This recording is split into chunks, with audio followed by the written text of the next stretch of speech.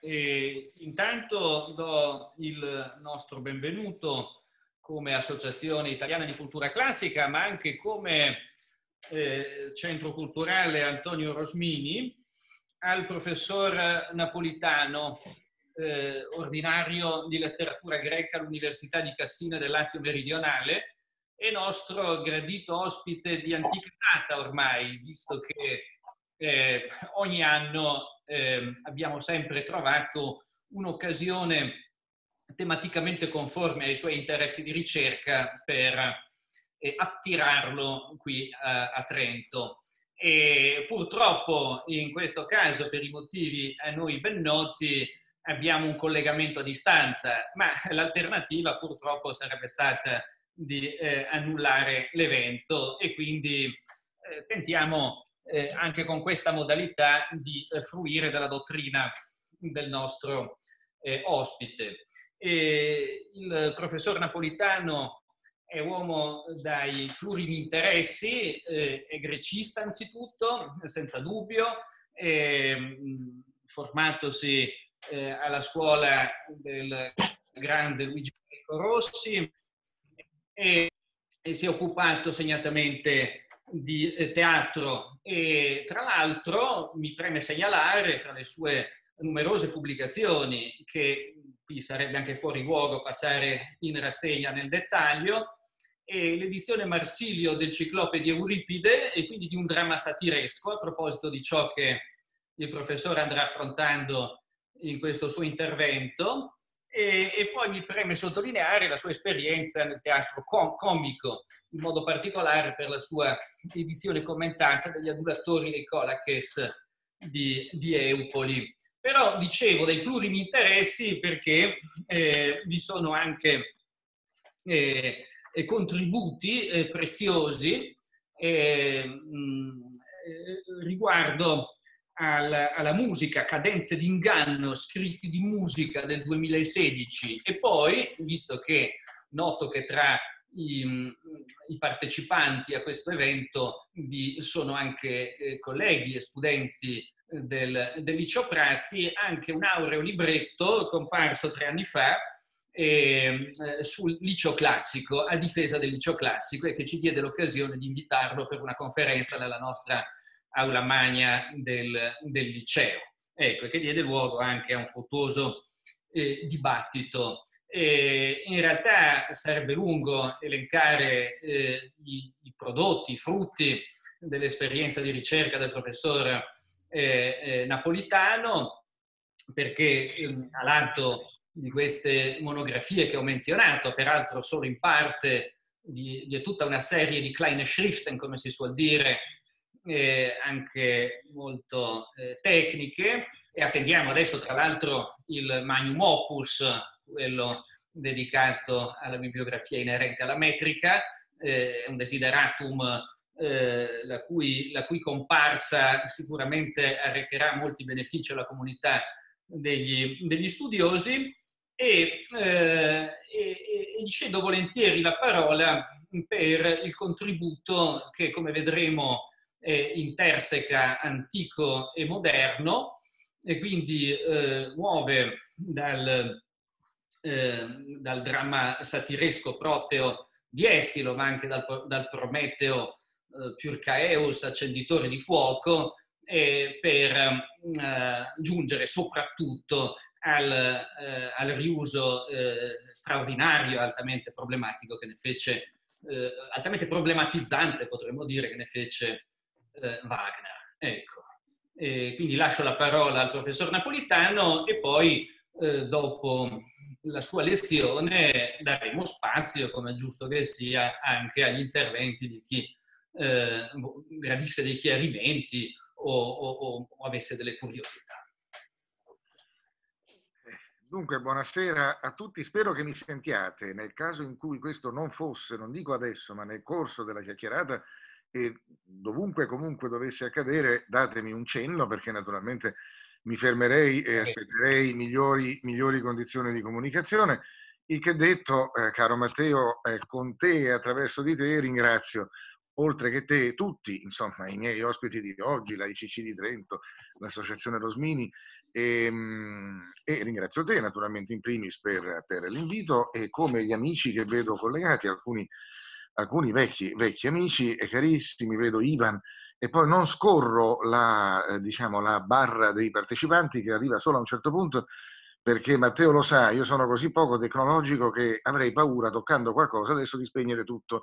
Quindi meglio non toccare nulla e salutare eh, anche alla cieca. Ecco, Ivan lo vedo, eh, saluto Giuliana, insomma, gli amici che vedo naturalmente e anche quelli che non vedo. Saluto Claudio Tugnoli, al quale devo, tra l'altro, una meravigliosa occasione bolognese qualche anno fa attorno alla figura di Schiassi giornate belle, speriamo che quella giornata bolognese, le tante giornate trentine mm, che devo a Matteo e agli amici di Trento possano tornare presto perché insomma adesso facciamo di necessità virtù, i tempi sono questi, ma insomma speriamo, speriamo bene perché eh, la situazione non è, non è piacevole per tante, per tante, ragioni, insomma, è tutt'altro, anzi per, per certi versi è tragica. Ecco.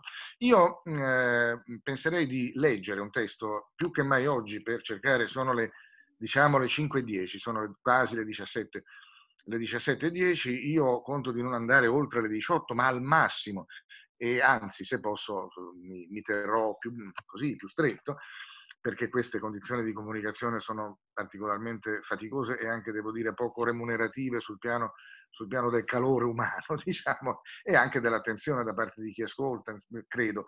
Quindi cercherò di essere più breve possibile. Questo mio intervento si articola in una prima parte diciamo, introduttiva che cerca di indagare, dico per dire, insomma, in modo piuttosto generale, i rapporti tra Wagner e l'antico e tra Wagner e la tragedia greca e Eschilo in maniera particolare, poi la seconda parte sarà dedicata invece a un problema di dettaglio che si iscrive all'interno del quadro e, ehm, e che però è appunto un problema di, così, puntuale, diciamo, diciamo così. I testi, eh, la, la, la, scaletta, lo handout, la, la fotocopia, io dico ancora la fotocopia, eh, che, che, circola tra il pubblico, eh, ma insomma qui che volete, il pubblico virtuale. So però, e ringrazio Matteo anche per questo, che avete tutti ricevuto il file e dunque il file è numerato, i testi sono numerati da 1 in poi fino a 11, credo a 12, fino a 11, ecco, e scorreremo questi testi, su alcuni ci fermeremo, altri li lascerò alla vostra lettura, in vista anche di una possibile discussione, perché ovviamente sarei felice se, se alla fine ci fosse qualche, qualche intervento, ma questo ecco, soltanto per discutere qualcosa in più. E dunque comincerei, ecco, sono adesso le 17.10 e comincio.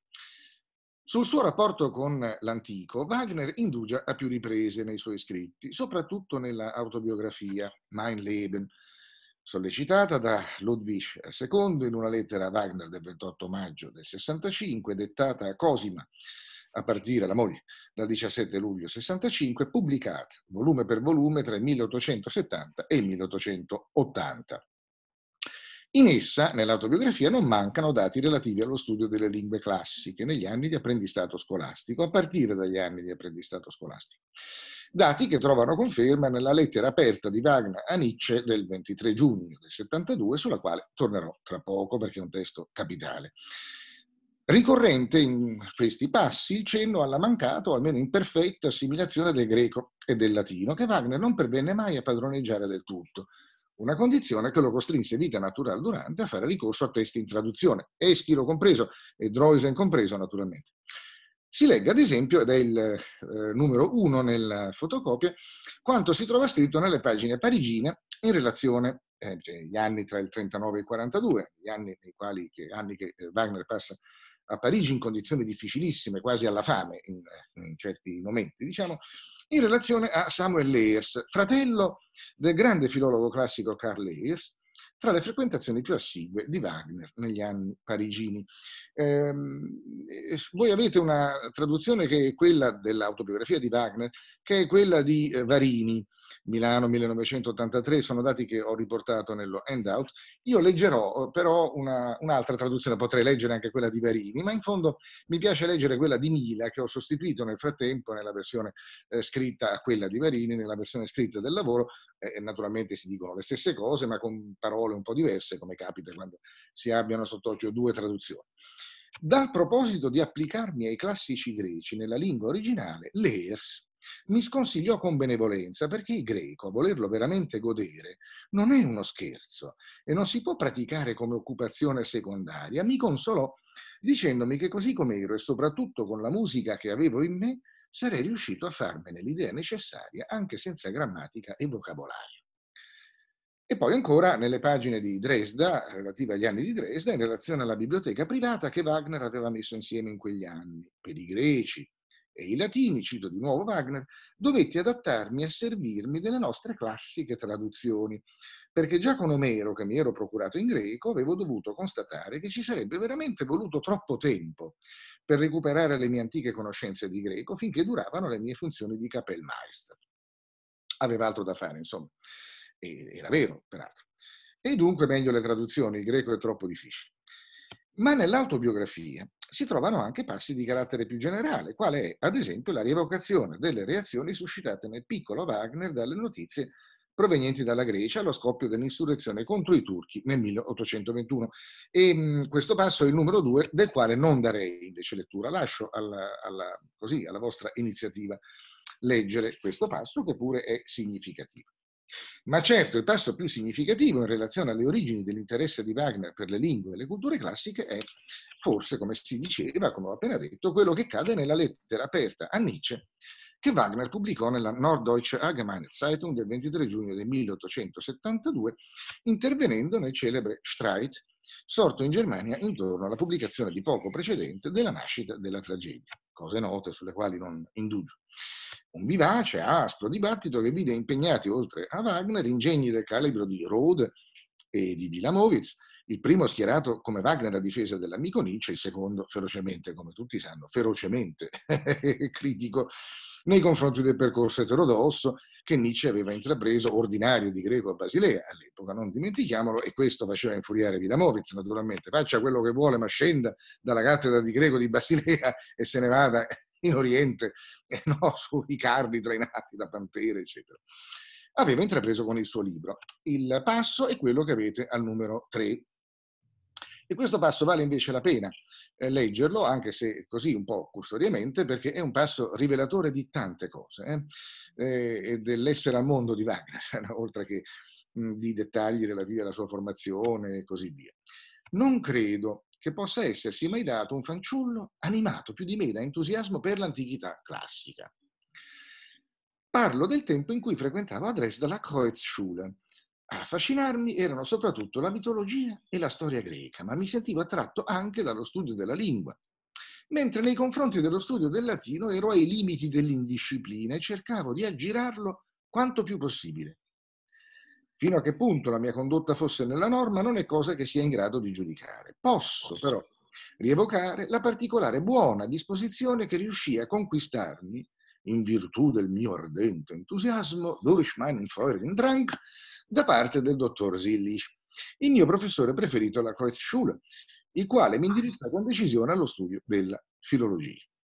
Come poi sia riuscito ai docenti che ebbi più tardi alla Nikolai Schule e alla Thomas Schule di Lipsia di annientare totalmente in me queste disposizioni e inclinazioni, diese Anlagen und Neigungen, cosa che è certo ben presente alla mia memoria e che del resto sono perfettamente in grado di spiegarmi sulla base del comportamento tenuto da quei signori. Insomma, qui Wagner dice, ed è molto tipico di Wagner, eh, le mie naturali inclinazioni, le mie naturali disposizioni avrebbero fatto di me un grande grecista, diciamo, no? Eh, però ho trovato sulla mia strada cattivi maestri che hanno spento in me queste naturali inclinazioni. Mm, è tipico di tutta l'autobiografia questo tono, diciamo. Eh? L'autobiografia è una specie di invenzione eh, curatissima e c'è di mezzo la mano di Cosima, eh? una specie di, come dire, è l'invenzione di un personaggio. Ecco, e, condotta con, con spirito acutissimo, diciamo, e con acuta attenzione a ogni possibile dettaglio. Pure, continua Wagner, col tempo non potei fare a meno di chiedermi se quelle disposizioni e inclinazioni avrebbero davvero potuto trovare più saldo fondamento, visto e considerato il fatto che in me esse avevano finito così presto per perdersi. E qui sembra che Wagner si dia una specie di resipiscenza, no? dice, ah, forse è stata colpa mia, ma in realtà va in un'altra direzione il ragionamento. Solo nel corso ulteriore del mio sviluppo spirituale presi consapevolezza del fatto che il costante riaffiorare di quelle inclinazioni implicava che in me, a causa di una disciplina mortalmente sbagliata, aveva finito, e qui torna a polemizzare con i maestri, aveva finito per essere represso qualcosa di davvero importante. Quindi vedete, torna immediatamente sulla, sua, sulla strada di prima, diciamo. Oppresso dalle terribili fatiche di un'esistenza in tutto e per tutto lontana da studi di quel tipo, l'unica ancora, qui è importante, l'unica ancora di salvezza, la sola benedizione fu per me sempre immergermi nel mondo antico, in die antike Welt zu versenken. Anche a prescindere da quanto penosa sia stata per me la perdita quasi totale nel frattempo delle competenze linguistiche che mi sarebbero servite. Le musiche di scena scritte da Mendelssohn per i drammi di Sofocle, continua Wagner, mostrano minore sensibilità allo spirito dell'antico, Geist der Antike, rispetto a quella che Wagner attribuisce a se stesso, nonostante l'armamentario filologico di Mendelssohn fosse, rispetto a quello di cui Wagner dichiara di essere in possesso, assai più compiuto e maturo. Seine fertige Philologie, quella di Mendelssohn, meine Unfertigkeit.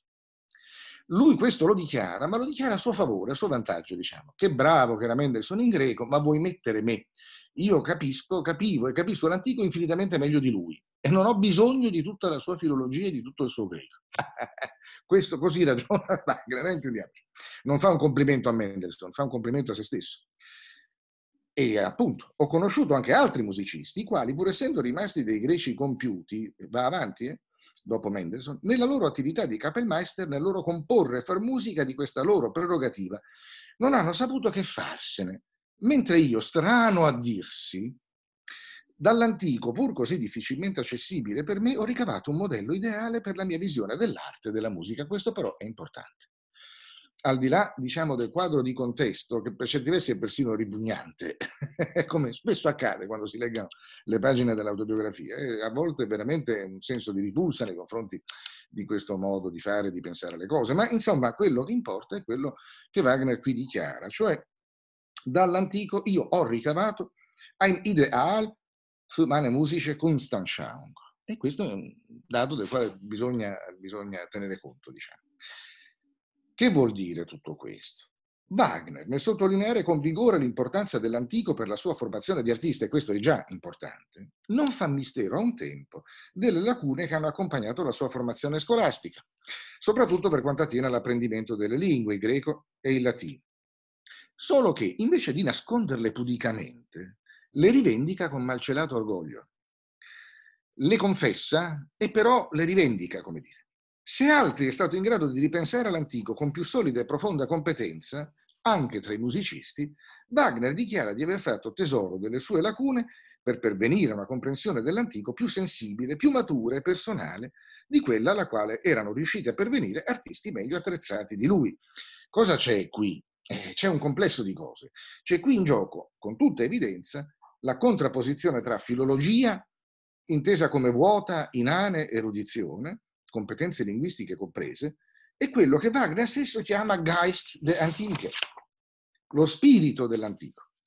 Una formulazione funzionale a sostenere la primazia della sensibilità e del genio sulle competenze tecniche che potrebbe essere senza sforzo applicata a inquadrare le opposte posizioni sostenute da detrattori e difensori di Nietzsche nello Streit del quale ho appena detto. In fondo, per Winamovitz Nietzsche era un dilettante, il Nietzsche della nascita della tragedia, ed era per questo che doveva scendere dalla cattedra di greco, dalla cattedra di filologia di greco, anzi, della, di, di, Basilea, no? naturalmente. È questo. Professionismo e dilettantismo, come dire. Il dilettantismo rivendicato però, eh, come prerogativa positiva. È un punto assolutamente essenziale. Nella Germania della seconda metà dell'Ottocento e poi dei primi del Novecento fino a Thomas Mann, a Heinrich Mann, questo è un dato sul quale è un, è un punto sul quale si riflette continuamente. Eh. Cioè, la, la, letteratura sul dilettantismus è, è infinita, diciamo. La dedica a Wagner della nascita della tragedia e il suo intervento apologetico nello Streit che seguì la pubblicazione del libro sono capitoli di un rapporto, quello tra il musicista e il filosofo, tra Wagner e Nietzsche, che si estese tra alterne vicende lungo l'arco di almeno due decenni, dai primi incontri a Lipsia nel novembre del 68 fino alla stesura degli scritti wagneriani della fine degli anni Ottanta. Il primo contatto di Nietzsche con la musica di Wagner, più in particolare con il Tristan, risale però già al marzo del 61, eh, quindi molto presto.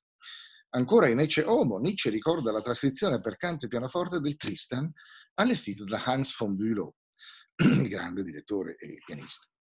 Dal momento in cui apparve una trascrizione per pianoforte del Tristano, eh, così Nietzsche, divenni wagneriano. Ancora oggi, è ancora Nietzsche che parla, vado in cerca di un'opera che abbia il fascino pericoloso, la dolce e tremenda infinitezza del Tristano. La cerco in tutte le arti e invano. Il sodalizio tra i due, fiorito nella quiete di Tripschen a partire dalla fine degli anni 60 e proseguito con sempre maggiore intensità fino a maggio del 72, a partire da febbraio del 69, quando Nietzsche fu chiamato a Basilea come titolare della cattedra di filologia. Scusatemi, oscillavo tra filologia e greco, la cattedra, la cattedra di filologia classica. Le ore liete e esaltanti di Tripschen, che Nietzsche nell'introduzione alla nascita della tragedia dirà di avere condensato in Petrefact, in oggetto di pietra, avere cristallizzato, pietrificato nel suo libro, beh, questo rapporto, lo sapete tutti, lo sappiamo tutti, si deteriorò presto fino alla crisi deflagrata a partire dal momento in cui la composizione del Parsifal pervenne alle sue fasi finali.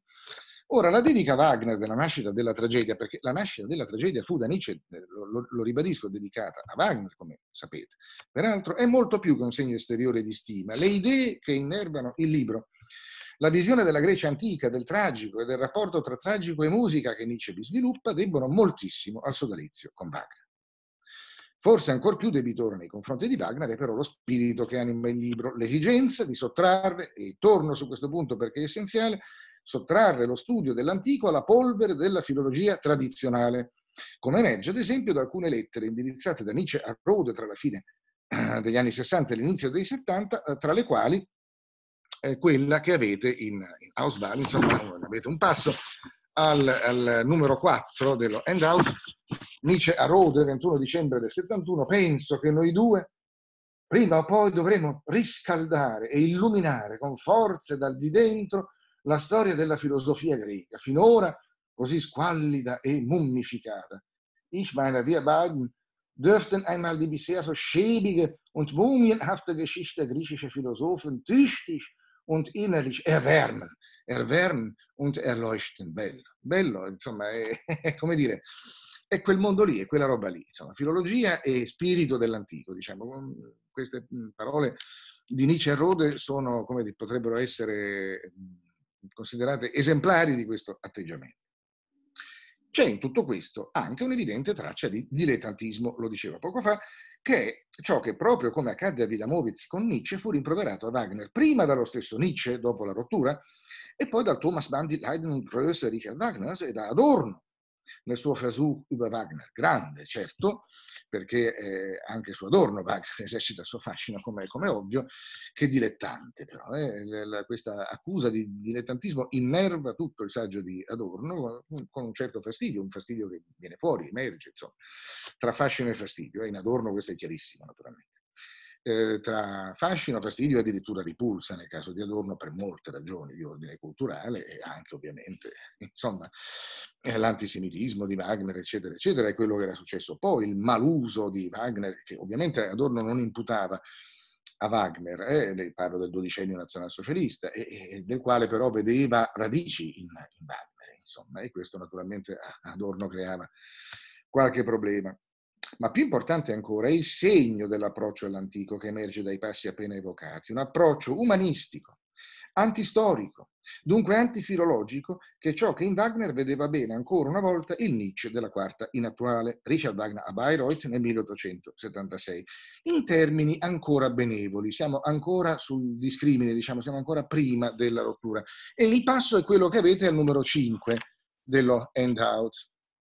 Un passo che vorrei leggere con con ehm, attenzione e che forse lascio, tralascio però nella lettura, è un passo assolutamente formidabile per molti rispetti, compreso anche il, il, tedesco, il tedesco di questo passo, il tedesco di Nietzsche, quanto è bello, che il tedesco di Nietzsche è una cosa meravigliosa, lo, lo, rende a casa sua, diciamo, tanto nei manuali di filosofia quanto nei manuali di letteratura tedesca, perché insomma sono pochi filosofi che abbiano usato una lingua così bella, ma insomma, non, mh, è un passo troppo denso perché lo possiamo affrontare eh, adesso. Possiamo, possiamo, possiamo forse leggere la parte finale. Domina le arti, le religioni, le storie dei vari popoli è tuttavia l'opposto di un erudito, di uno spirito meramente raccoglitore e ordinatore, giacché e qui Nietzsche parla di Wagner, in realtà parlando, partendo da, da, Alessandro, eh, da Alessandro, Magno, diciamo, e forse dall'immagine, eh, dall'immagine droiseniana di Alessandro, arriva però a parlare di, di Wagner. Naturalmente un artista globale, un animatore del materiale raccolto, un semplificatore del mondo. Ein Zusammenbildner und Beseeler des Zusammengebrachten, ein Vereinfacher der Welt. Il sostantivo Besela, animatore, vivificatore, che Nietzsche applica qui a Wagner, contiene l'essenza di ogni possibile approccio umanistico all'antico. Questo Nietzsche in Wagner lo vedeva benissimo. Come scriveva eh, Luigi Enrico Rossi in uno dei suoi ultimi lavori, adesso ristampati da, da poco, è un passo che forse non avete, no, non l'ho riportato, lo cito semplicemente. Così Rossi, l'approccio umanistico comporta uno spostamento di noi moderni verso il mondo antico sentirsi antichi è stato un esercizio frequente che si è intensificato nell'umanesimo italiano nel cosiddetto secondo umanesimo winkelmaniano. In altre parole, l'antico viene vissuto come modello da ammirare nei limiti del possibile da imitare, da vivere, da erleben. E eh, eh, la parola chiave che abbiamo sottolineato poco fa, cioè Besel, va, è in linea con erleben, no? ridare vita, dare vita a qualcosa di perento, diciamo. Questo è Wagner suoi rapporti con, nel suo rapporto con l'antico, naturalmente. Con la tetralogia, Wagner si rende protagonista di uno dei più giganteschi e ambiziosi tentativi di ricreazione dell'antico che si siano dati nella storia della cultura europea. Il punto è vedere come, per il che può essere utile cercare di delimitare i confini entro i quali la sensibilità all'antico di Wagner sia soprattutto esercitata, assai più in relazione alla Grecia che a Roma, intanto. E in Grecia soprattutto in direzione di Omero e della tragedia di V secolo. Il polo epico narrativo e quello drammatico scenico alla composizione dei quali in unità. Wagner lavorò con impegno estremo, anche teorico, durante tutta la lunga fase di composizione del Ring, dell'anello, del Nibelungo. Tra i tragici di V secolo, infine, soprattutto Eschilo. E tra le tragedie superstiti di Eschilo, soprattutto l'Orestea, nella quale, grazie anche a quanto Wagner stesso ce ne dice, è stato da tempo individuato uno dei modelli principali del ring. Su questo esistono eh, studi, una abbastanza ampia letteratura.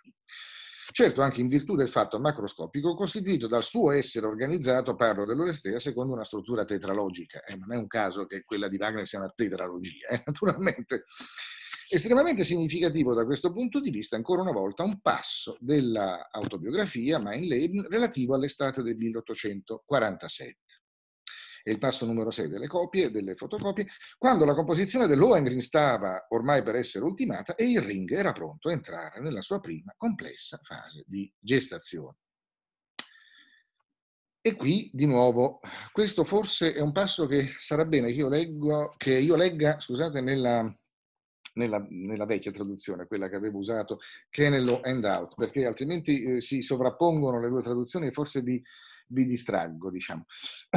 e dunque il passo numero 6, nella maturità dello spirito e del sentimento, sì, ecco, eh, qui leggo la traduzione che avete sotto gli occhi, nella maturità dello spirito e del sentimento compresi per la prima volta Eschilo. 1847, eh, badate, il Lohengrin uh, è appena finito e eh, Wagner comincia a elaborare il, um, il, comincia a pensare al Ring, è 1847, nel 1848 Wagner è a Dresda sulle barricate a, a, al fianco di Bakunin, no? sapete, insomma, eh, nel maggio del 48 è raggiunto da un mandato di arresto, lascia Dresda, raggiunge Liszt a Weimar, eh, nel 50 il Lohengrin va alla sua prima rappresentazione a Weimar e poi, e poi Wagner è costretto a, a, a, riparare in Svizzera perché è braccato da, da quel rivoluzionario mh, che era, diciamo, è, le, sconta le, le, barricate, sconta Dresda ed è costretto a riparare a Zurigo dove passa una serie di non, non um, indifferente di, di, anni, anni importanti sul piano degli, dell'elaborazione teorica delle cose, anche gli anni degli scritti zurighesi, diciamo, no? di Constanti, l'evoluzione, eccetera, eccetera, Pinaupa, un dramma, eccetera. Torno al passo numero 6. Le eloquenti didascalie di Droisen evocarono così vivamente ai miei occhi l'immagine. Vedete quante volte torna questa idea della, della vita, eh, dell'antico che prende vita. Non è un modo di dire, è una cosa che si fa inquadrare culturalmente nei termini che abbiamo appena detto, no? Basile, Rib, umanesimo, insomma, è chiaro. L'immagine inebriante delle rappresentazioni greche che alla lettura dell'Orestea subì la stessa forte suggestione che hanno quelle tragedie sulla scena.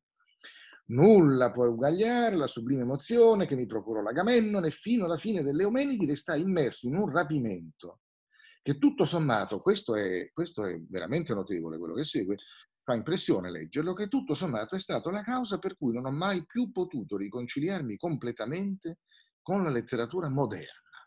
E per letteratura moderna intende Shakespeare eh, o Cervantes, non, non, dico, lo dice anche altrove naturalmente. Ma qui lo dice in un modo impressionante per nettezza, diciamo. Le mie idee sull'importanza del dramma e del teatro si sono formate sotto l'influenza di quelle impressioni. Questo è un passo capitale.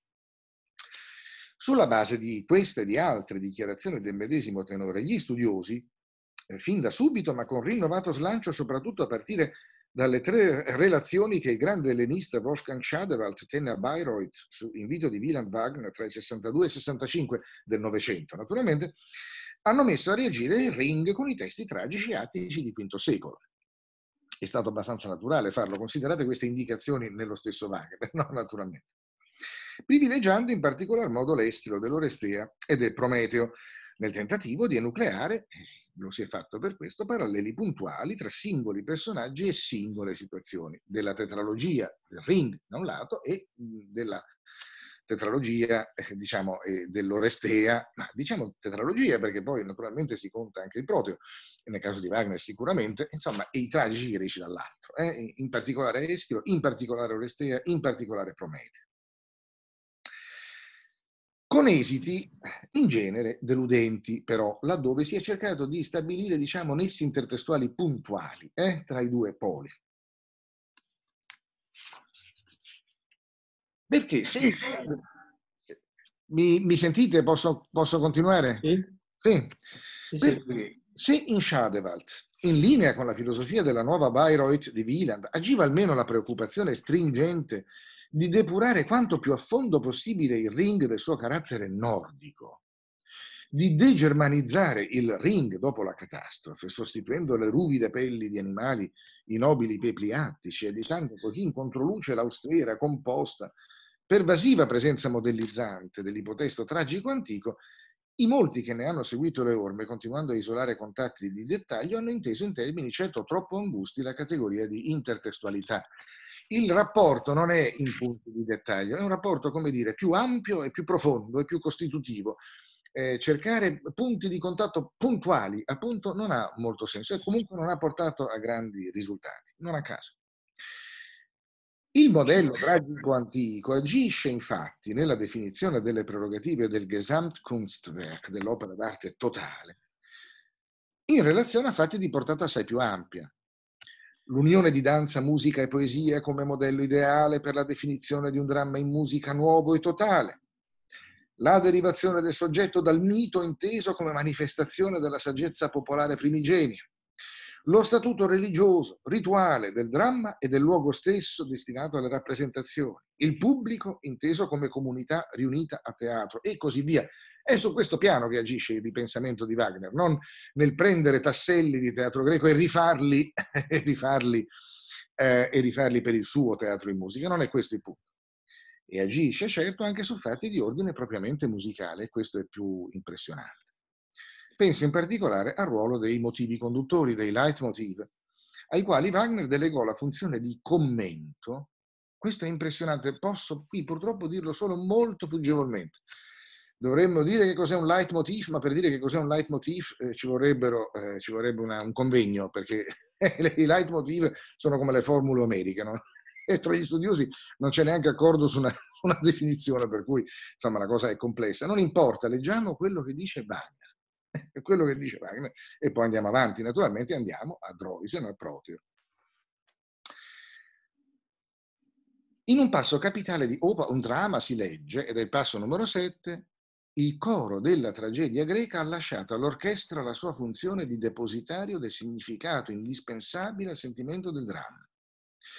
Alla mia orchestra, eh, quello che il coro faceva eh, a Atene nel V secolo, da me lo fa l'orchestra, e cioè la rete, il reticolato dei leitmotiv per trasformarsi in essa libero da ogni costrizione in comunicazione illimitatamente multiforme. E nei diari di Cosima nei Tagebücher di Cosima al 29 di settembre del 71 si trova annotata un'affermazione di Wagner relativa alla cosiddetta marcia funebre di Siegfried, il grandioso pezzo orchestrale che nel terzato della Götterdämmerung segue immediatamente la morte dell'eroe che suona come segue. Ed è il passo numero 8, anch'esso straordinario, un passo che mi ha sempre molto, molto colpito. Dovremmo adesso ascoltarla, la marcia funebre di Sigfrido, ma non avremo tempo, non importa. Questo in presenza eh, sarebbe stato bello farlo, ma a distanza non avrebbe avuto molto, molto senso, credo. Ho composto un coro greco. Questo è Wagner, eh? ma un coro che viene cantato dall'orchestra. Ich habe einen griechischen Chor komponiert, aber einen Chor, der gleichsam vom Orchester gesungen wird. Cantato dall'orchestra. dopo la morte di Sigfrido, eccetera, eccetera, descrive quello che succede nella, nel corso dell'episodio, che è un episodio strumentale, un episodio orchestrale, eh, badate. Un episodio orchestrale che è costruito attraverso un intreccio dialettico di motivi conduttori che appunto eh, commenta diciamo, il pregresso e anticipa quel po' che ha ancora da venire negli stessi termini in cui il coro fa lo stesso nella tragedia di V secolo, questo nelle intenzioni di Wagner. Eh? E allora veniamo al nostro caso di studio, eh, diciamo, eh, al, nostro, al, nostro, studio di caso in realtà, perché case studies viene tradotto con casi di studio, ma in realtà sono studi puntuali, studi, studi su casi specifici, quindi bisognerebbe tradurlo al contrario, secondo le regole del, dell'inglese, no? Casi di studio, casi di studio un corno, non importa. Tra i lavori più recenti sul rapporto tra Wagner e la tragedia greca spicca per bontà di metodo e originalità di risultati un articolo di David Sansone pubblicato nel 2015. Sansone è un classicista, non è un musicologo. Eh? E il, i dati del, di questo articolo voi li avete, è un articolo di Antica und Abendland del 15, li avete al numero 9 delle fotocopie. L'obiettivo di fondo del lavoro di Sansone risiede nel tentativo, dal mio punto di vista complessivamente molto ben riuscito, di dimostrare la fondatezza di un luogo comune degli studi sulla tetralogia, ovvero l'individuazione nell'oro del Reno, nel Rheingold, del dramma satiresco della tetralogia, del dramma satiresco del Ring.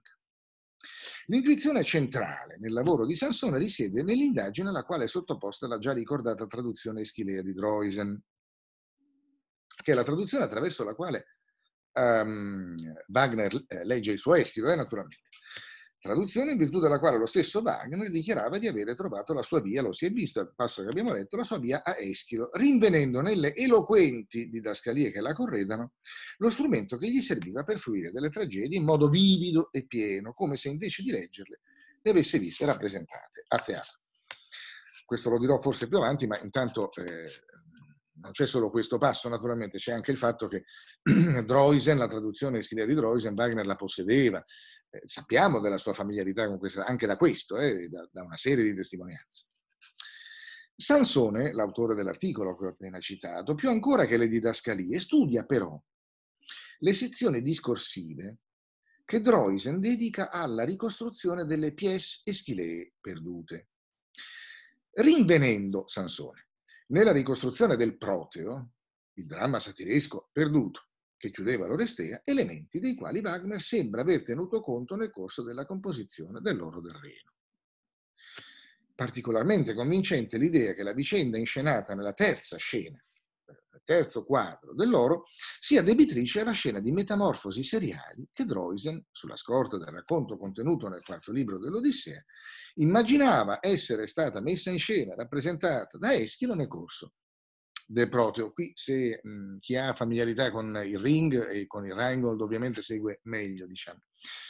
La scena in questione si svolge, come è noto, e a ogni modo eh, ne do una, un, un riassunto, diciamo, giusto che lo faccia la scena in questione del Rheingold eh, si svolge, come è noto, nel fondo del Nibelheim. nel quale Wotan si reca in compagnia di Loge per cercare di sottrarre a Alberich, il re dei Nibelunghi, l'oro rapito all'inizio dell'opera alla custodia delle figlie del re e con l'oro il portentoso anello che Alberich si era fatto forgiare ad arte dai suoi sudditi. Se Alberich, come è naturale, non ha alcuna intenzione di privarsi dell'oro e dell'anello, a Wotan l'oro serve per ricompensare i mostruosi giganti, Fafna e Fasolt, dell'opera da loro prestata nella costruzione del Valhalla e poter così riavere indietro in cambio Freya, il cui violento ratto da parte dei giganti aveva provocato l'improvviso inaridimento dei frutti del giardino degli dei. Perché la missione vada a buon fine ci vuole l'astuzia di Log, il dio del fuoco, il quale davanti alla sarcastica, diffidente accoglienza destinata da Alberich ai ai due ospiti, cioè a Wotan e a Log, finisce per attirare quest'ultimo in una trappola, cioè Alberich solleticandone la vanità. La trappola sta nell'invito rivolto a Alberich di mettere alla prova davanti ai suoi ospiti le virtù del suo elmo magico, il Tarnhelm, le cui portentose qualità consistevano nel consentire a chi lo indossasse di metamorfosarsi a piacimento.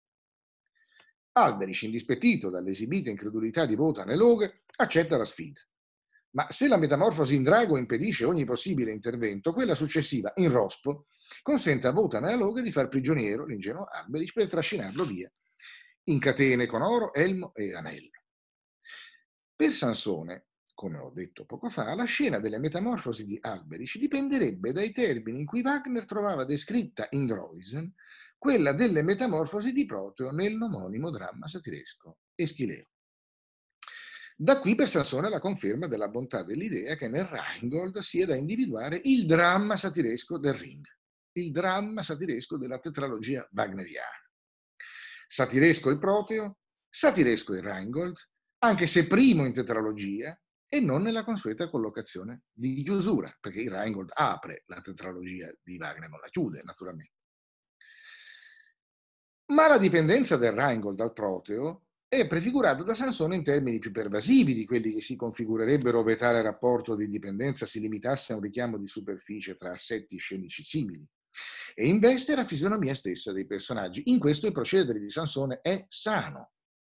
Non cerca soltanto punti di contatto, eh, punti di dettaglio, diciamo, eh, intertestualità puntuali, fatti di intertestualità puntuale, ma eh, investe un, uno spettro più ampio di possibilità.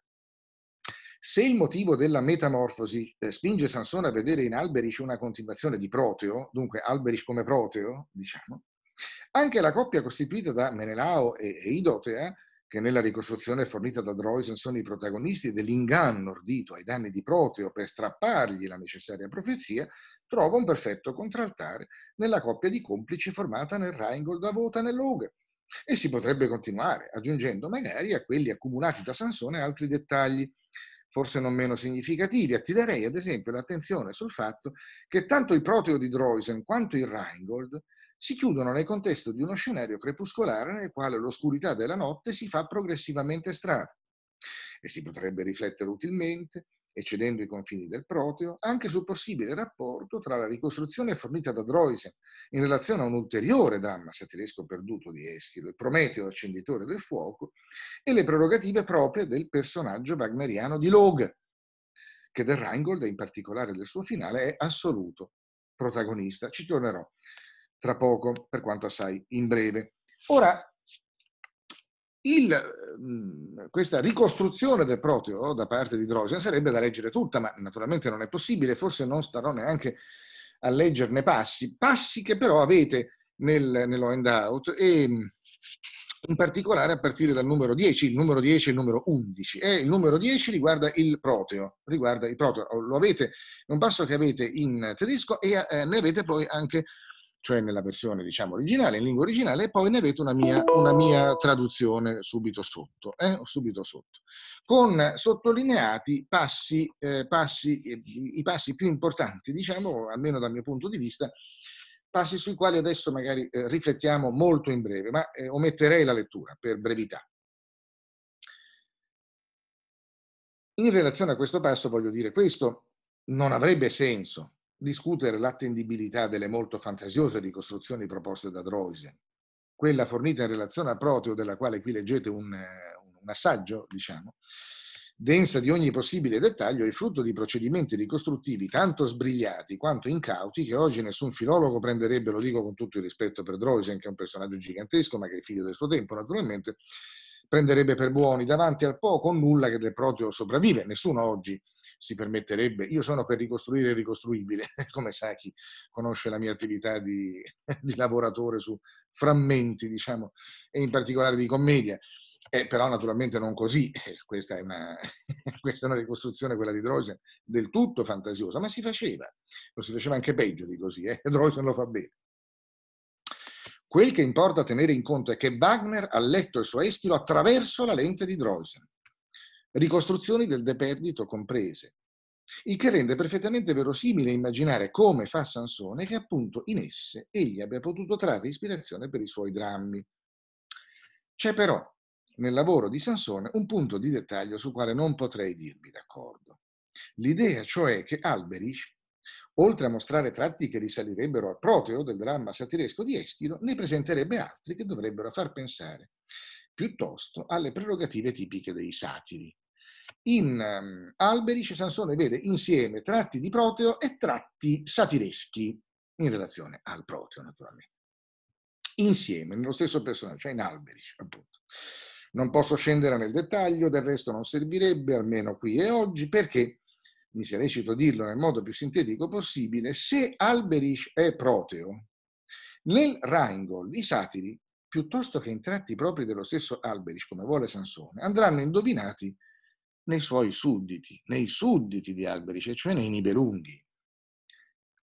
Io credo che così sia, e questo Sansone non lo dice, eh, schiaccia tutto su Alberich, ma no, il parallelo è tra eh, satiri e nibelunghi, sono i nibelunghi i satiri del dramma satiresco wagneriano.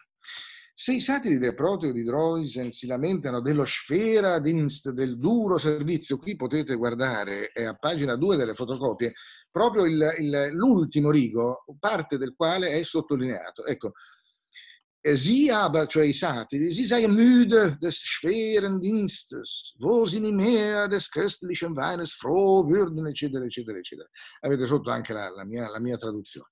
Il duro servizio, il duro servizio dei satiri, topos del dramma satiresco, naturalmente di V secolo, e il duro servizio al quale i Nibelunghi sono astretti sotto la frusta crudele eh, di, di Alberich, diciamo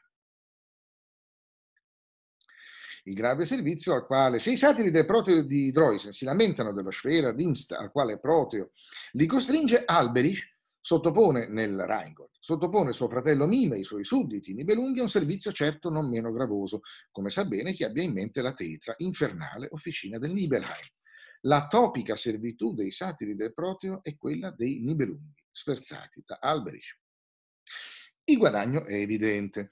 Intanto, come è impossibile immaginare in antico un dramma satiresco senza satiri, così non ha molto senso immaginare che Wagner, lasciandosi ispirare da un tassello perduto dell'eschilo satiresco, non si ponesse a un tempo il problema rappresentato dalla necessità di una presenza che riproducesse, per questo aspetto fondamentale, anzi distintivo, l'assetto del, dell'originale. I satiri vanno cercati eh, vanno cercati, che ci sono naturalmente, che c'erano nel Proteo, vanno cercati anche, per quanto in maschera, vanno cercati anche nel, nel Rheingold e bisogna cercarli nei Nibelunghi, io credo. I Nibelunghi servivano perfettamente allo scopo di dotare il Rheingold di una presenza avvicinabile a quella dei satiri del Proteo, con i quali, come si è detto, condividevano la sorte di servitù alla quale erano condannati. Ma questo porta a una considerazione ulteriore, questa volta in chiave di discontinuità. E qui tengo molto a quanto sto per dire, perché questo è un po' il punto, cioè il senso dell'operazione di Wagner. Eh? Nel, rifare, nel rifare il proprio, nel dotare di un dramma satiresco primo in tetralogia invece che quarto in tetralogia, la sua tetralogia, il suo ring, eccetera. Una considerazione in chiave di discontinuità rispetto al modello satiresco eschileo, perché se il dramma satiresco antico proteo compreso metteva in scena vicende all'interno delle quali lo stato di subordinazione dei satiri era ingrediente fisso, tali vicende erano però destinate in antico, erano destinate per legge di genere a sfociare invariabilmente in scene finali, di festiva, trionfale liberazione, con Sileno e i satiri liberi infine di riunirsi a Dioniso. Molto diversamente vanno le cose nel Rheingold, il cui straordinario finale, nonostante le apparenze, è tutto meno che festivo e liberatorio, per non dire ottimistico, è l'ingresso al Valhalla. Non solo per i Nibelunghi e Alberich, che nella quarta scena dell'opera, privato dell'oro, dell'elmo, dell'anello, da despota crudele si vede degradato egli stesso a servo in catene, ma anche per gli dei del Valhalla, ai quali, mentre si apprestano a fare finalmente il loro ingresso nella reggia nuova di Zecca, pronta ad accoglierli, fa da cupo controcanto prima il presago sarcastico a parte di Log, i Remende heilen sie zu, fast schäme mich mit ihnen zu fassen, eh, alla loro fine si appressano. Quasi mi vergogno di avere a che fare con loro, con gli dei, dice Loghe, canta Loghe. Eh? È una cosa straordinaria, il finale, il finale del Reno è, è, tra le cose grandi del mondo. E poi la lamentosa nenia delle figlie del Reno, naturalmente, Rheingold, Rheingold, eccetera. Così la notte che scende sul Valhalla non ha nulla del lieto notturno che chiude il proteo di Droisen, mettiamoli pure in, in collegamento, ma il segno è completamente diverso. E Log, l'ambiguo, sfuggente dio del fuoco del Rheingold, sembra davvero modellato sul Prometeo Lehrer, insegnante, diciamo maestro, e Volteta, e benefattore, del Prometeo Esfeuerzünder di Troisen, ma assai più per opposizione che per analogia. Il nuovo ordine, la Neue Ordnung, del quale, della quale Prometeo per Droysen si sarebbe fatto garante nel dramma satiresco di Eschilo, rappresentando le aspettative e i diritti delle classi popolari più basse, ma anche a un tempo i valori dell'intero corpo civico, nel finale del Rheingold si prefigura come una speranza denunciata come illusoria, fin dal momento del suo primo darsi, dall'acre, irridente commento con il quale proprio Loghe, ridendo della loro ingenuità, accompagna gli dei nella loro fittizia apoteosi. Devo dunque dichiararmi in disaccordo con Sansone anche su questo punto, dal momento che per Sansone il passo di Droysen relativo al nuovo ordine andrebbe messo in relazione non con il finale del Rheingold, ma con la Goethe Dämmerung, proprio in considerazione del ruolo protagonistico che Loge gioca nel finale del Rheingold, ritengo invece che la ricostruzione fornita da Droysen per il Prometeo accenditore del fuoco è l'ultimo testo nello Endout, il numero 11, sul quale vi prego di riflettere, se, se, volete, di leggerlo, di riflettere, ma direi per conto vostro perché mi avvio molto rapidamente a chiudere, sono a 5 minuti dalla fine e dunque non voglio eccedere le 18, diciamo. Ritengo che la ricostruzione fornita da Drosen per il Prometeo accenditore del fuoco che avete in parte al numero 11 abbia potuto ispirare Wagner appunto per il finale del suo Vorspiel, del suo, del, del suo, del suo prologo, e cioè del Rheingold. Ma in chiave antifrastica, come dicevo, piuttosto che per via di fedele mimesi, nel senso che Loghe è Prometeo accenditore di fuoco, ma è, lo è catantifrasi e il suo contrario cattivo, e il suo contrario non è, non è un Voltaire, non è un leader, è uno che vede gli dei avviarsi al Valhalla e ne ride e dice tra sé e sé quasi, quasi vorrei essere altrove, mi vergogno di avere a che fare con loro perché ne vedo la pochezza, è altro che Prometeo. Eppure è Prometeo, entrambi dei del fuoco e con tratti di similarità evidente. Wagner opera un rovesciamento del dramma si ispira al dramma satiresco, al Proteo e forse anche al Prometeo, mette assieme elementi satireschi ma cambia completamente il segno e la funzione del dramma satiresco antico. Ne fa altro, e al, questo altro è addirittura il contrario, diciamo, per, per segno, per funzione, per, per Stimmung e tutto.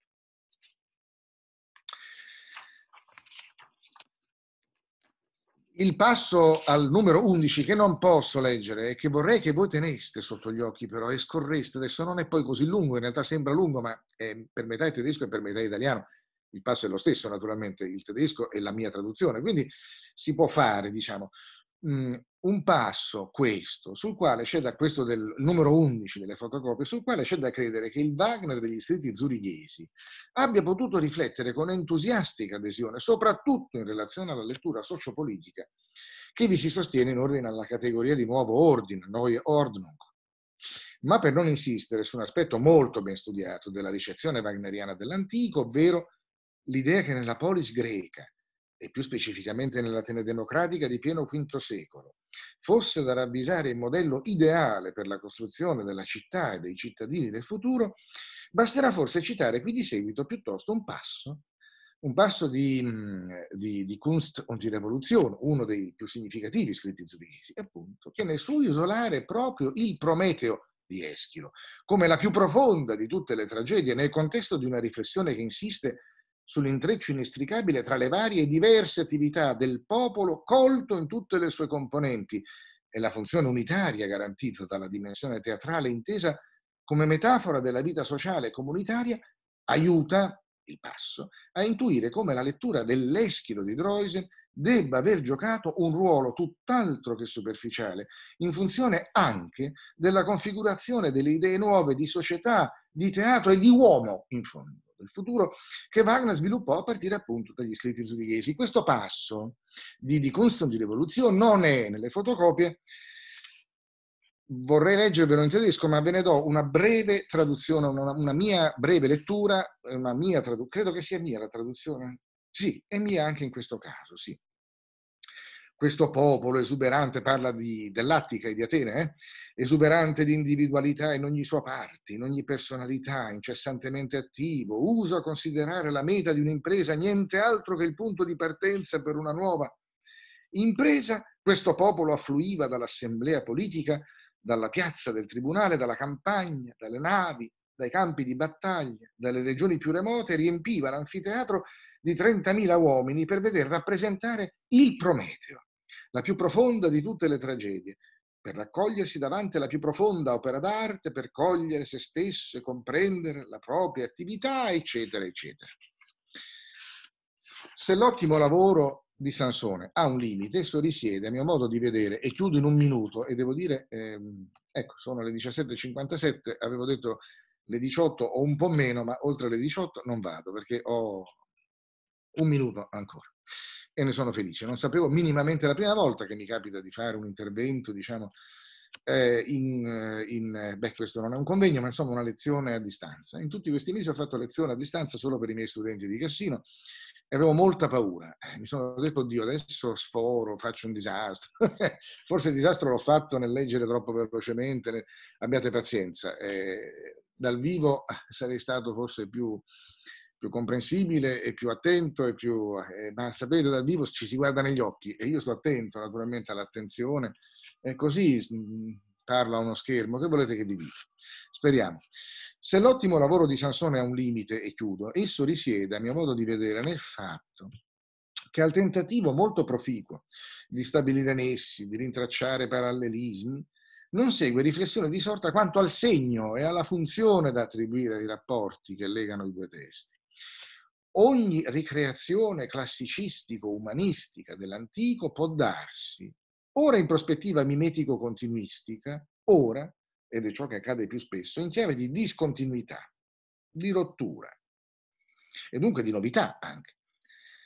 Se nel primo caso l'esegeta non può che prendere atto del carattere più o meno ingenuamente mimetico dell'operazione di ricreazione, nel secondo deve di necessità interrogarsi sui limiti entro i quali l'operazione di ripresa dell'antico si è esplicata, specie nei casi in cui tale operazione mostri i segni del fallimento, dello scacco come esito, diciamo.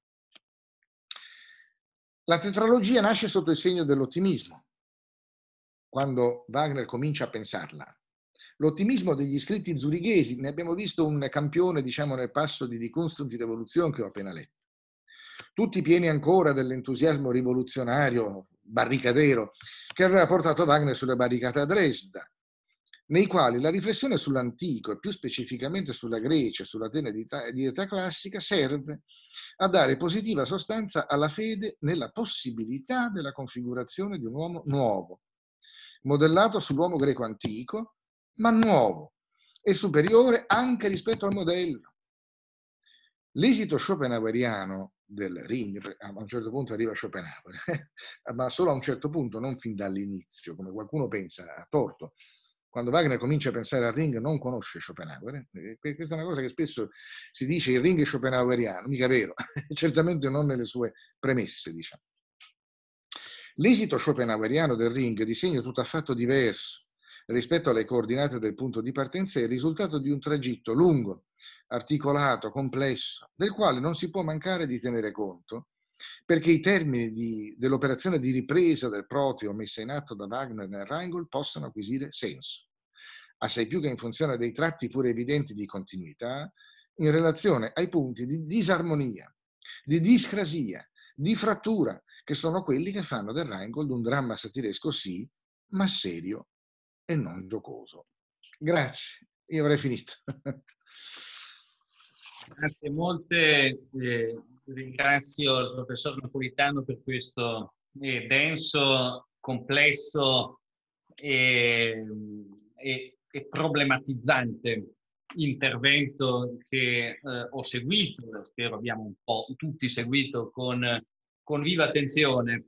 E nell'aprire la discussione mi permetterei di fare così una, considerazione a caldo e di porti anche una domanda a proposito di Droisen, perché effettivamente abbiamo a che fare con un caso estremo, nel senso che in conclusione eh, notavi come effettivamente la, la, ripresa dell'antico possa darsi o in una chiave, dicevi, mimetico-continuistica oppure in chiave di discontinuità. In questo caso abbiamo a che fare con una discontinuità. Eh sì. Certo che se esaminiamo i termini di paragone, pensiamo al punto di partenza e pensiamo al punto di arrivo, è, come dicono i tedeschi, un Grenzfall, un caso limite, perché basta aprire l'edizione di Rat dei frammenti eschilei e ci si accorge che quel che sappiamo del proteo coincide più o meno con il nulla. Nulla. Abbiamo a che fare con poche parole, con qualche verso al limite dell'intraducibile. Se poi spostiamo la nostra attenzione sul Purcaeus, se non rammento male, Stefan Ratz diceva a tal proposito argumentum prorsus ignotum. sì. Cioè, e, ah, quindi partiamo davvero da, da, un mare di nebbia, sì, certo. al di là della quale non si intravede quasi nulla. È fatta, salva la stima che è bene che abbiamo per molti aspetti, per una, un grande de, della cultura ottocentesca, ma anche in fondo della lotta politica dell'Ottocento, quale fu Droysen, eh, viene da chiedersi eh, su quali basi abbia potuto costruire quell'argumentum sia nel caso del Proteo, sia nel caso del Prometeo accenditore di fuoco, anzi quindi argomenta, eh, eh, dai quali avrebbe poi preso le mosse Wagner, che a sua volta si sarebbe discostato anche da Droysen, eh, variando e quindi eh, rendendo anche il, il, il tono eh, caratteristico dei drammi satiristi antichi financo serio. Ecco, quindi io, io mi chiedo, eh, ma eh, Droysen, certo, tu naturalmente hai, hai evidenziato come eh, ci sia stato un modo di muoversi metodologicamente piuttosto avventuroso da parte di Droysen nel, nel ricostruire questa trama.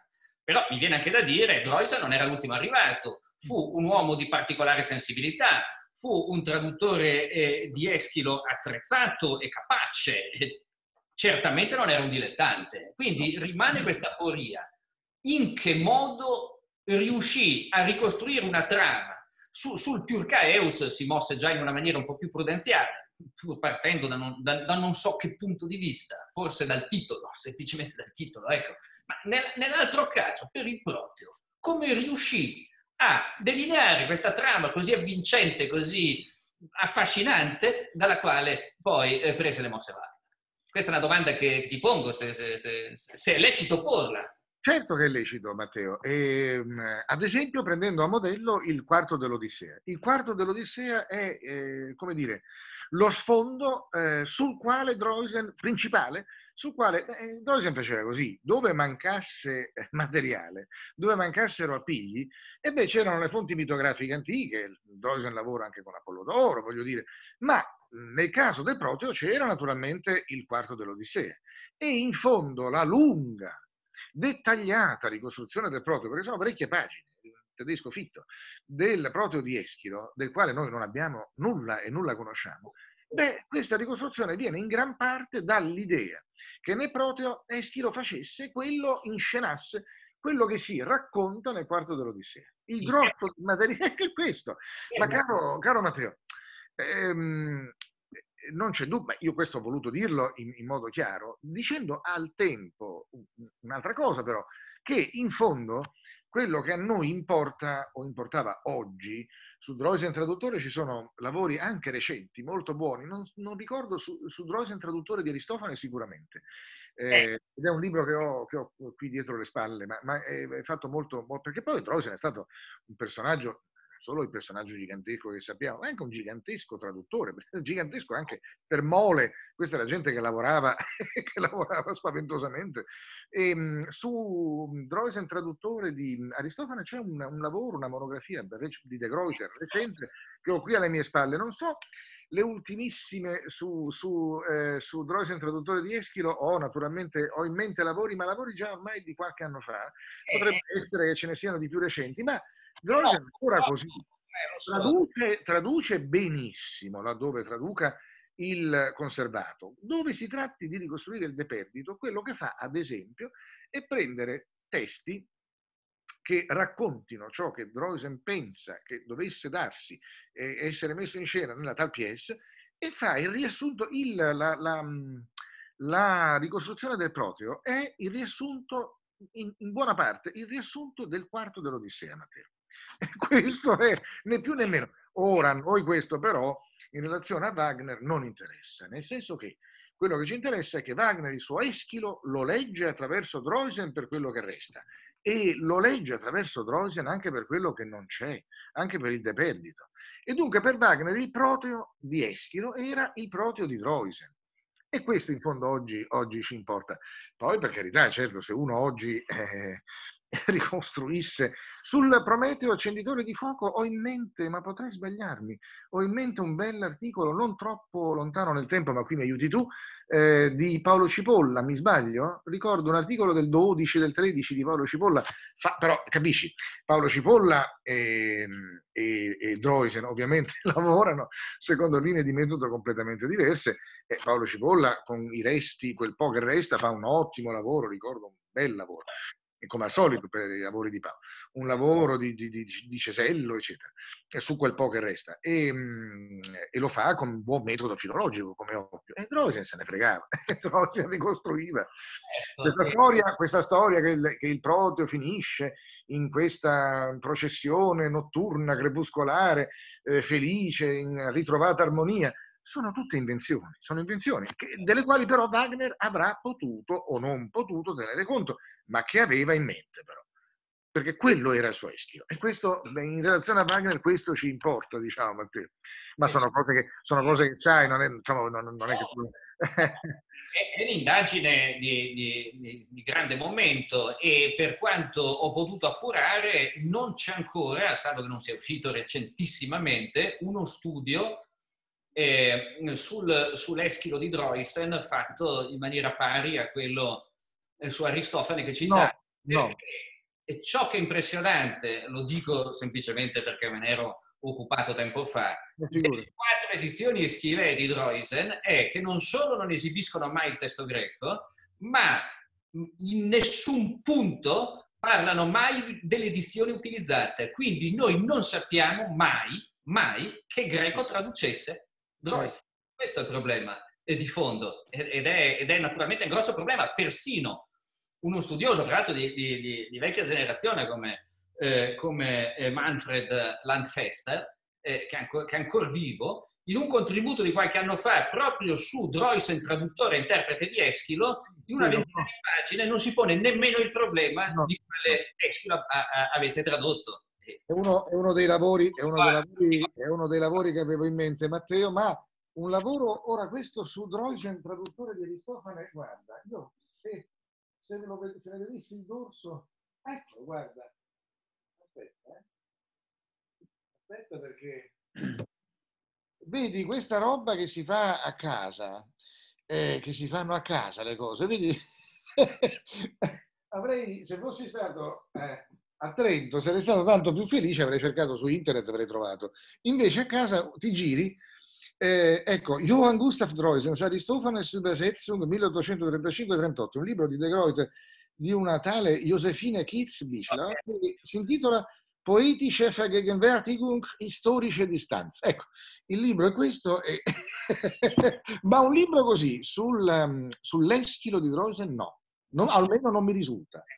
E, curioso naturalmente, ma eh, però oh, in tutto questo voglio dire con più chiarezza una cosa che ho detto molto en passant, ehm, e per non sbagliare eh, do un'occhiata ai miei dati che ho qui, Wagner aveva una copia della prima edizione dell'Eschilo di Drosi 1832 che però dovette abbandonare con il resto della sua biblioteca privata quando dovette scappare da Dresda. E poi ehm, eh, una copia della terza edizione, Matteo, non della quarta, ma arriva la terza, 1868, una copia che si trova ancora adesso a Bayreuth tra i libri di Villa Manfred, tra i libri della, di casa sua, diciamo. Quindi conosceva Drosi, ma poi lo cita, ma oltre a citarlo, e a citarlo anche in passi significativi per il suo mondo, diciamo, per il suo rapporto con l'antico, lo, lo, possiede, lo possedeva, ce l'aveva tra i libri di casa, ma è chiaro, è chiaro. Non avrebbe mai potuto leggere Eschilo in originale, e questo è evidente. Figuratevi Wagner che legge la Camennone in, in greco. Ce lo dice lui stesso, e, e, appunto, e ne fa una chiave della sua costruzione di personalità.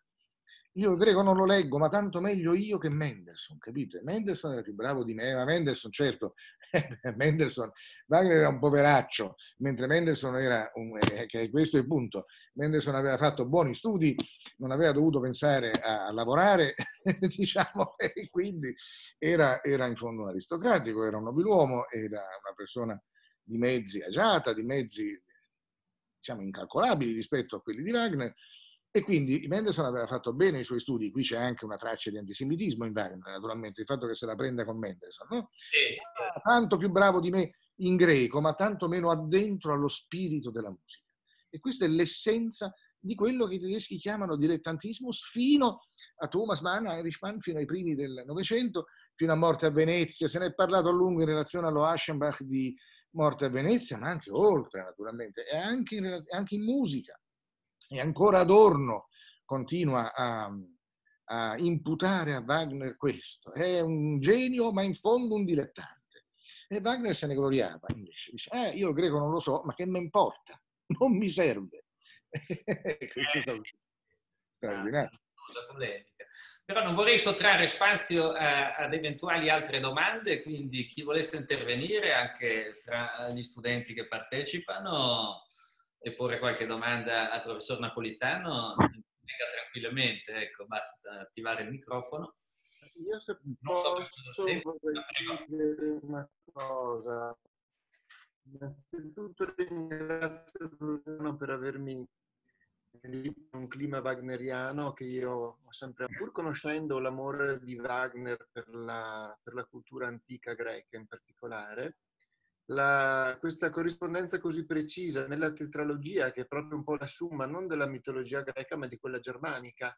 Quindi voglio chiedere una cosa che probabilmente potrebbe aprire un altro convegno, però se ci sono altre, se il professor Napolitano ha trovato nella tetralogia altre corrispondenze o ispirazioni relative alla, alla mitologia e alla cultura antica greca, e se eventualmente queste cose entrano in conflitto con, eh, con quella germanica che è predominante.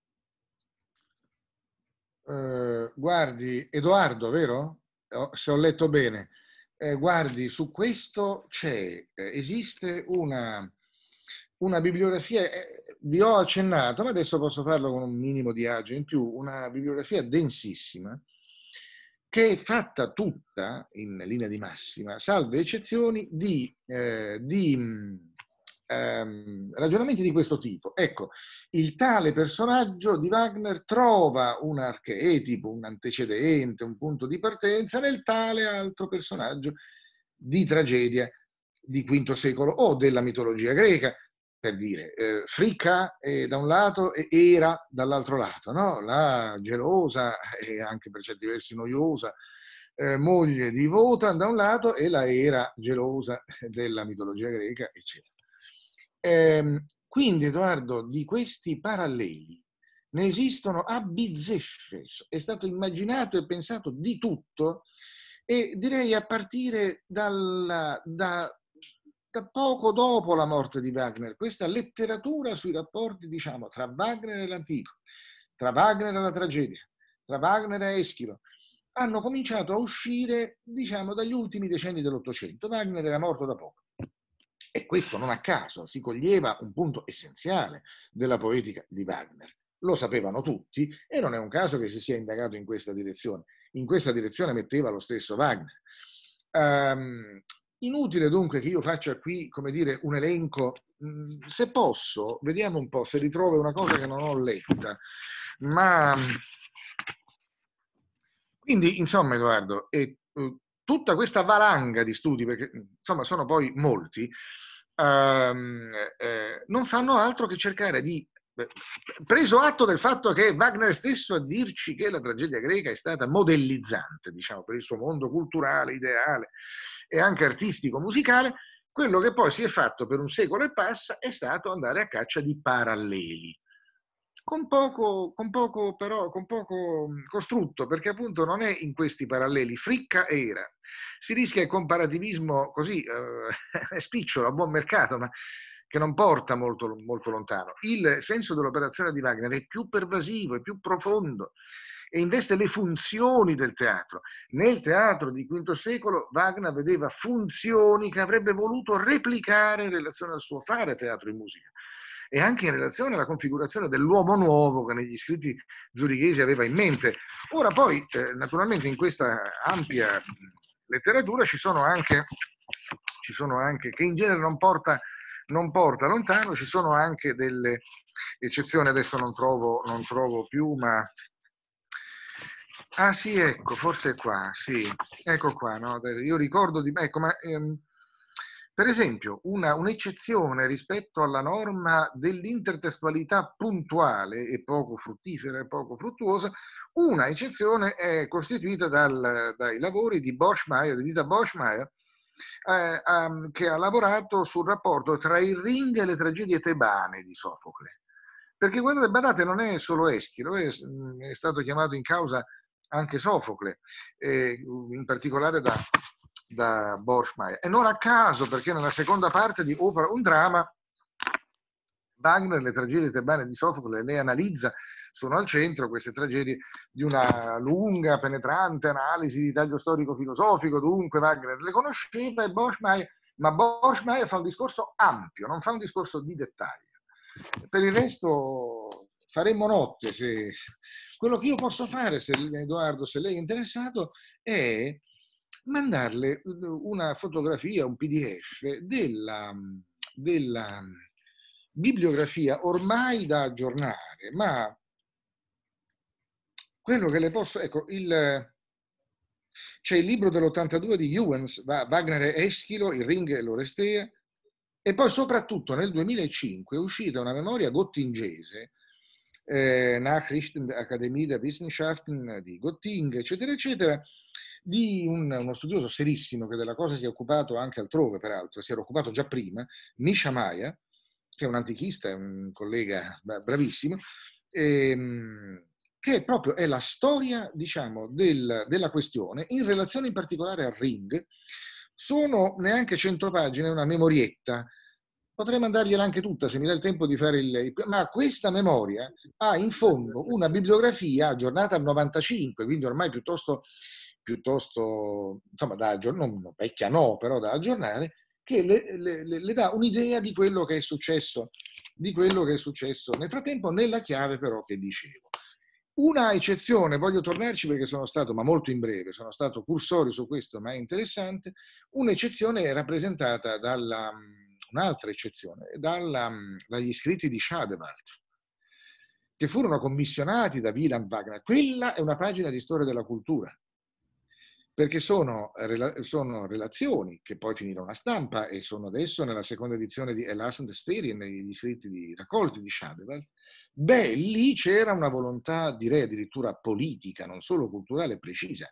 Quella, lo dicevo, di degermanizzare il ring, cioè di scrostare eh, la mitologia nordica, naturalmente, della quale Wagner si serve al posto della mitologia greca, questo non fa non fa stupore, era normale che Wagner si rivolgesse al suo mondo, al suo mito, diciamo. Però naturalmente nel frattempo stati, c'era stato il dodicennio.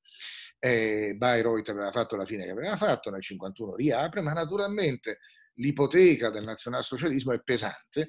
E allora che cosa si fa? Si chiama un grecista, il più famoso grecista di, di Germania, forse il più autorevole all'epoca, Schadewald, o tra i più autorevoli, gli si dice guarda, scrosta un po' eh, Wagner di, eh, dei corni da caccia e delle pelli, eccetera, e fai tralucere, eh, insomma, riporta a galla, scrostando, scrostando, la nobile, austera compostezza della tragedia di V secolo, alla quale Wagner guardava e lo sappiamo benissimo. È Wieland, è Wieland Wagner a chiedere lasciate questo.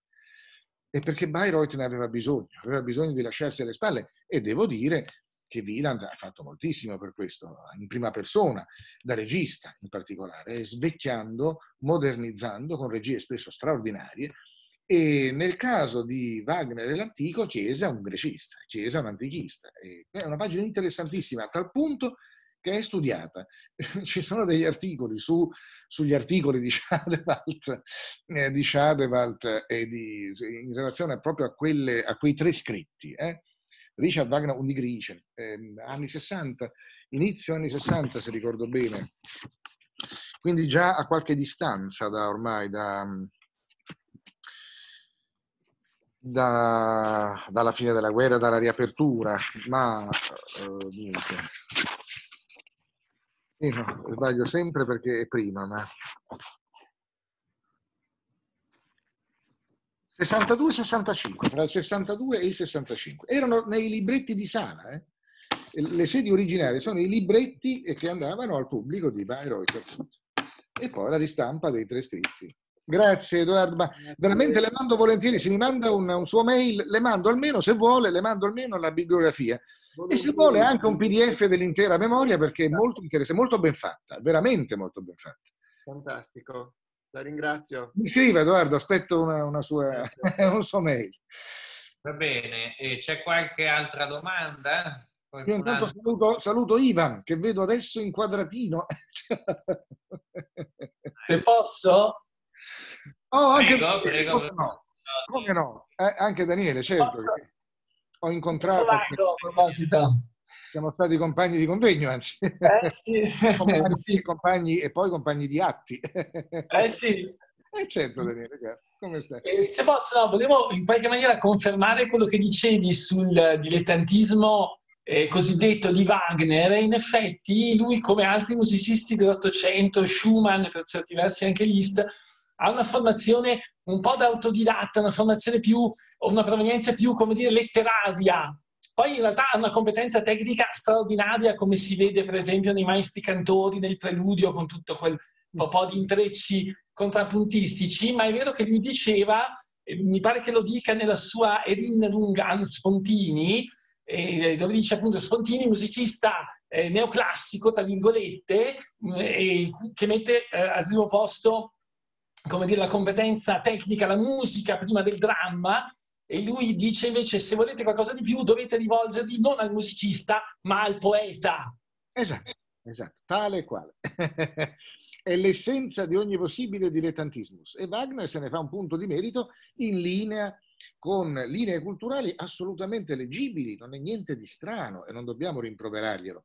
Lasciamo che Adorno glielo rimproveri ma è storia della cultura anche quella, cioè i rimproveri di Adorno a Wagner, diciamo, rimproveri per modo di dire, ma insomma gli addebiti di Adorno, è anche questa storia della cultura. Poi eh, studiare Wagner in modo neutro è un altro discorso e noi che non siamo Adorno dobbiamo cercare di, così, di studiare insomma, in modo non tendenzioso, di iscrivere le cose in una prospettiva storico-culturale, ma tu Daniele ne sai più di me, perché è roba che conosci.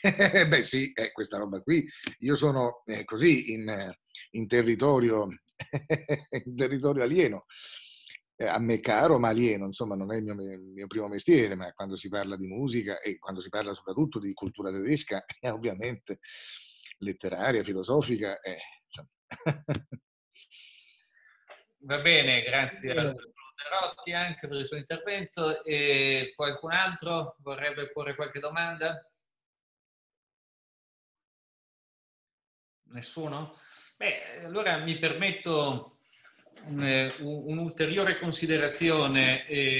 Certo, il problema del dilettantismo eh, è notevole e c'è anche il rischio che poi sotto questo termine vadano intesi malamente anche tentativi ermeneutici che pur provenendo da, da intellettuali che non sono filologi stricto sensu, eh, tuttavia riescono talvolta, anzi non di rado, a penetrare maggiormente quello che appunto si definiva lo spirito dell'antico eh, rispetto a, ad addetti ai lavori.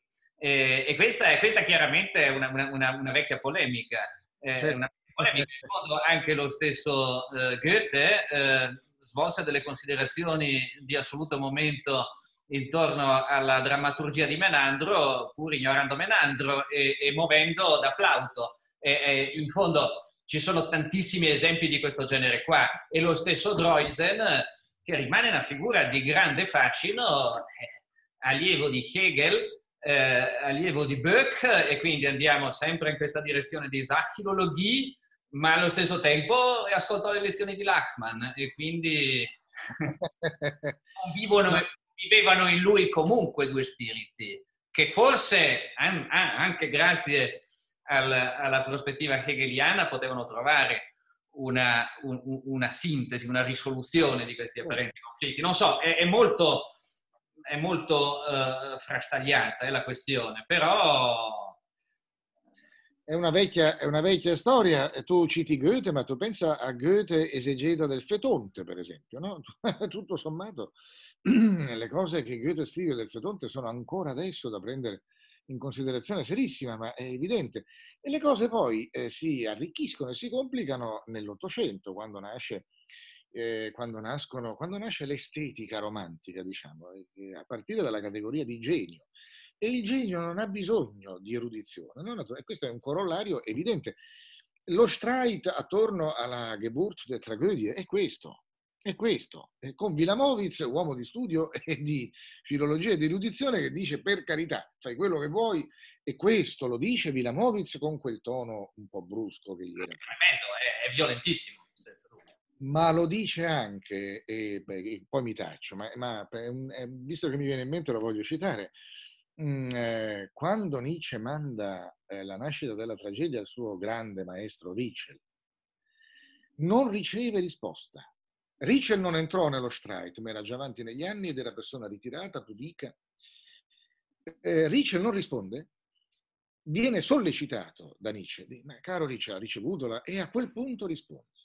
E risponde con un tono quasi amareggiato, quasi, quasi malinconico, e dice al suo allievo, caro, caro Nietzsche, certo, per carità, ma sai, io sono troppo, in buona sostanza, io sono troppo vecchio per cambiare mestiere. Non mi chieda di giudicare un libro che fuoriesce, diciamo, dalle mie competenze, che è un'altra cosa. E lo dice con un tono che non potrebbe essere più lontano dal tono crudele, crudo, brusco di Vilamovic, ma la sostanza è quella. Cioè il mondo filologico tedesco reagiva a questo, reagiva alla, alla, all'odore, diciamo, di dilettantismo. E questo era particolarmente grave nel caso di Nietzsche, perché Nietzsche appunto non era un eh, libero docente o un pensatore a passeggio, ma era in quel momento, già da qualche tempo, era l'ordinario di filologia classica a Basilea e quindi insomma era ovviamente, eh, come dire, mm, eh, esposto a strali di questo tipo. D'altro canto, eh, poi trovi eh, Rode, Oh, e è lo stesso Wagner, naturalmente. Wagner non vede l'ora, perché nel difendere, questa è la cosa straordinaria di Wagner, straordinaria e repellente, molto spesso, nel difendere Nietzsche, in fondo fa apologia di sé, senza nessuna... Dice, ma eh, che cosa attaccate Nietzsche? E dice, io sono come lui, e così, bisog- e così bisogna fare. Eh, e così bisogna fare, naturalmente, le stesse cose, che, le stesse opinioni che si scambiano Nietzsche e Rode a un livello un po' più alto, diciamo, eh, perché Rode era un personaggio. Ma quando i due si dicono dobbiamo ridare vita, scaldare, erwärmen, bello, eh? ridare luce e vita alla, alla, a questa roba che si è mummificata, no? Questo. Ma per farlo l'erudizione non solo non è indispensabile, ma è dannosa. Bisogna rinunciare all'erudizione per cogliere lo spirito dell'antico è un, è un, è un riflesso condizionato, diciamo. sì, sì, impressionante.